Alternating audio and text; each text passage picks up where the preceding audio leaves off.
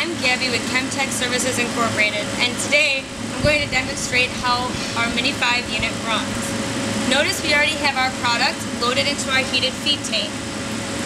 Our feed is then introduced into the evaporator by a metering pump, and then distributed along the walls of our evaporator into a thin film by the wiper basket inside.